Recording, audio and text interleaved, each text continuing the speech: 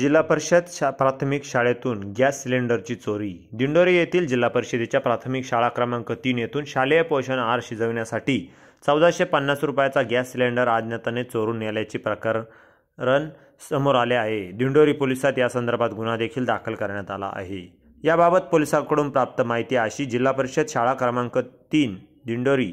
या शाळेच्या मालकीची हिंदुस्तान पेट्रोलियम कंपनीच्या विद्यार्थ्यांचा शालेय पोषण आहार शिजवण्यासाठीचा चौदाशे पन्नास रुपया गॅस सिलेंडर अज्ञाताने स्वयंपाकघरातून बंद दरवाजाचे कुलूप तोडून चोरून नेल्याचा तक्रार प्रवीण दिनकर देशमुख या मुख्याध्यापकाने केली आहे. तरी सध्या या शाळेवरती पोषण आहार शिजवण्यासाठी वापरात येणाऱ्या सिलेंडरची चोरी झाल्यामुळे शिक्षण आहार शिजवण्यासाठी आज शिक्षकांना पेच पडला आहे. याच घटनेनंतर शाळेचा सिलेंडर चोरीला गेल्याबाबत दिंडोरी पोलिसात तक्रार देखील दाखल करण्यात आली आहे. या संदर्भात अधिक माहिती दिंडोरी पोलिसांनी दिली आहे.